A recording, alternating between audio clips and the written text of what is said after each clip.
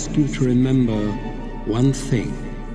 Your abilities may be of my blood, but it is your time in Smallville with Jonathan and Martha Kent and all the people there that made you a hero, Kal-El.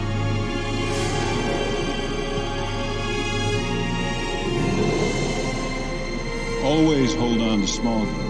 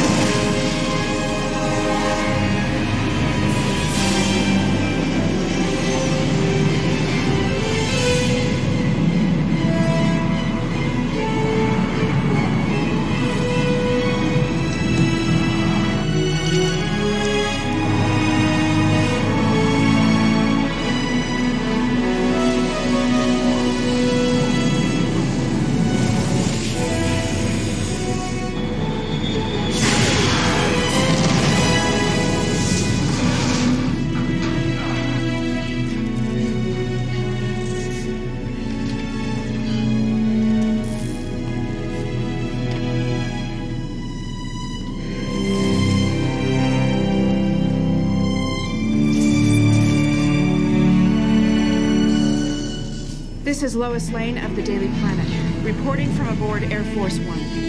Miss Lane. Mr. President.